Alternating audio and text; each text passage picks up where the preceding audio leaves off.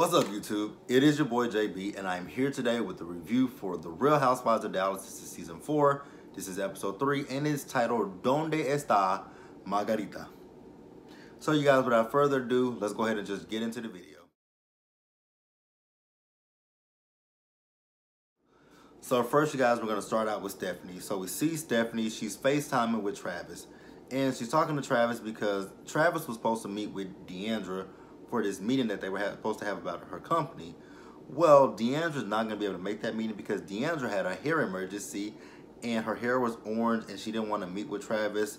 And she had text Stephanie at 1 a.m. in the morning. And I'm like, why would you text someone at 1 a.m. in the morning?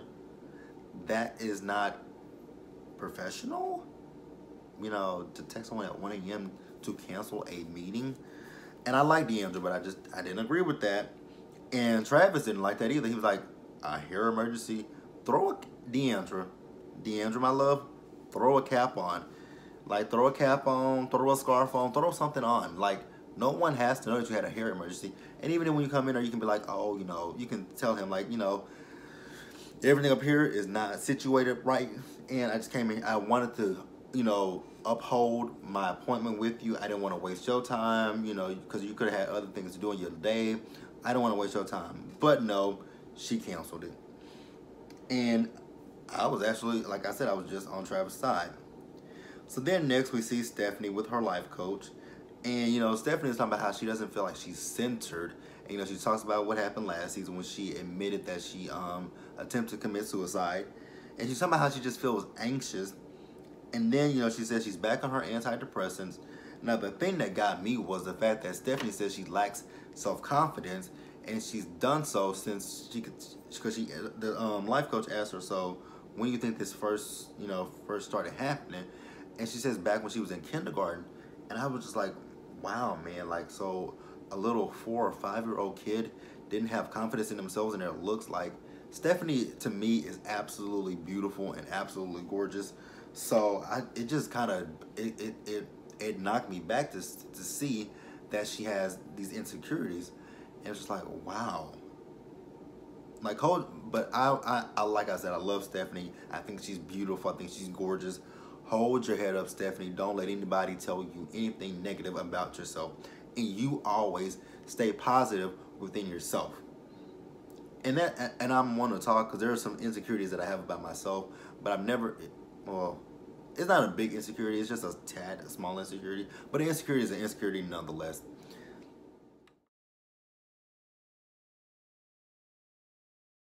All right, so this video actually might be a little bit short because this wasn't really a much of. I mean, it was. A, it, it, gave us something, but it didn't give us a lot. So we have LeeAnne next. So we see LeeAnne.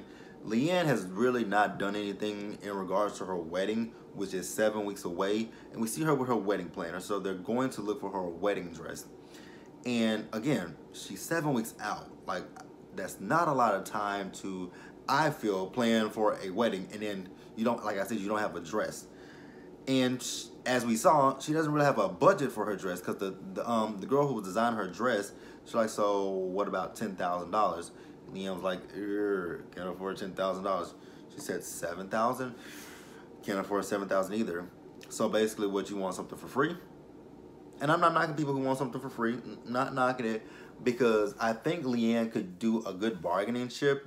Like you're on Real Housewives of Dallas you could tell the designer like, hey, you know, if you design my wedding dress, we're filming for season four of Real Housewives of Dallas. If you design this dress for me and we showcase it on TV, a lot of people are bound to ask me, LeeAnne, who designed your wedding dress? So that would give you free promotion on our show. But, you know, her wedding planner is like, you know, LeeAnne doesn't want to do stuff like that.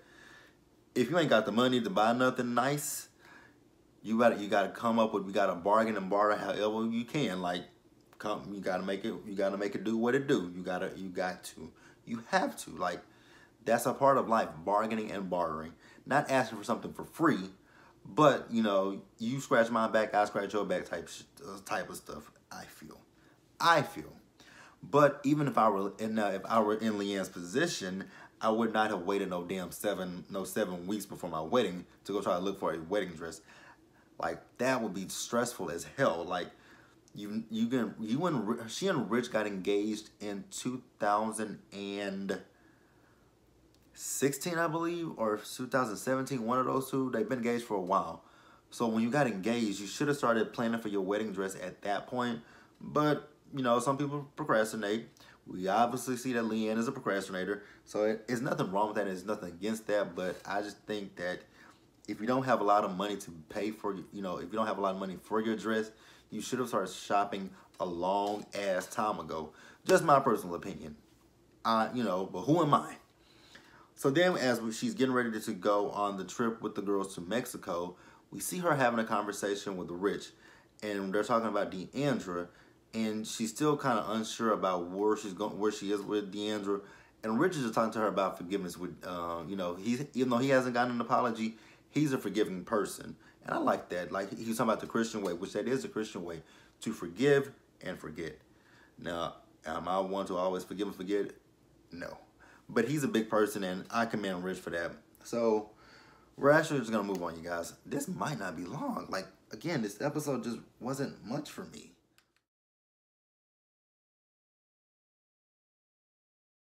All right, next you guys, we got D'Andra. So D'Andra is talking to Jeremy about this whole thing between, uh, about this whole thing about um, Travis. And she's talking about how she doesn't feel like Travis is to understand her hair emergency. And, you know, Jeremy's like, well, hell, I don't understand it either. And then he says, you know, he tells her, she's like, well, you, you know, she didn't know that, um, that, um, Travis knew nothing about it. But she said it's not Stephanie's fault. And you're right, it's not Stephanie's fault. It's actually your fault. You don't text someone at 1 a.m. in the morning. Like, who's gonna... So 1 a.m. in the morning. So you expected for Stephanie to be wake up at 1 a.m. be like, Tra Tra Travis, Travis, D'Andra, she just texted me. She just told me to tell you she's not to be able to make it to your meeting today. No. And I was so happy that Jeremy said, no, you can't blame anybody but yourself. He says, but what you do need to do is you need to reach out to him, give him a call, and tell him what happened, apologize to him, and see if he will, you know, be willing to meet with you again. So she does call um, Travis, and Travis is like, you know what, it's all good. It's water under the bridge. We're good. Call me later, call me some other time, and we'll set up to do it. And I'm like, that was nice. I don't know if I would have necessarily been able to do that. And again, D'Andra's one of my favorites, but I just don't know if I would have been able to do that because she wasted his time the first time. So no, I just don't know if I would be that big of a person. Probably wouldn't.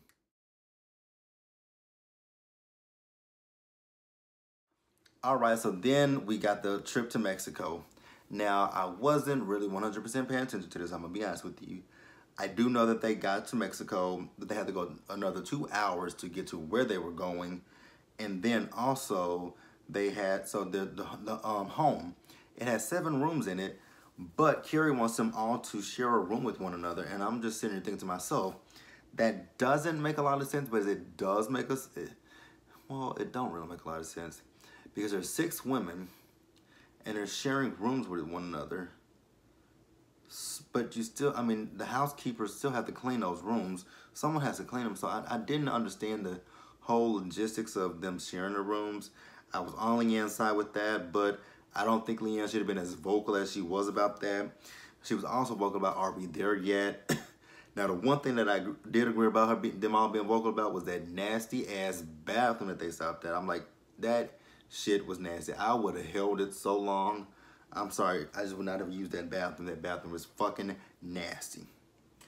So they finally do make it. Um, nobody wants a room with D'Andra, however, because D'Andra's a hot mess. And like I said, I got the situation about the, I got everything that LeeAnne was saying, but I thought LeeAnne was just a little bit of rude to Kary. Like, this is her, her family's home, technically her husband's, and you're just being negative to me. I felt like she was being negative. You can disagree with me, but that's just how I felt. so then they have dinner with one another. They have dinner, and even dinner was kind of awkward because Kary was talking about, you know, her company that she has, her jewelry line, then she was talking about her kids, and she was asking LeeAnne about kids. And LeeAnne was saying she doesn't want to have kids because she didn't have the best upbringing. And I get that. I think LeeAnne was just a little bit off-putting with when that, with that conversation with Kary. Like, because the questions that Kary was asking, she was being very um, brass and sarcastic.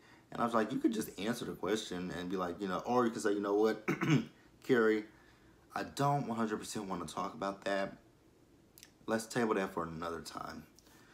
But you guys, that was the Real Housewives of Dallas. This video might not be long at all. Be sure to like the video, leave your comments, subscribe to the channel, hit that bell notification button to know when I drop anything, and share this video, and I will see you guys later.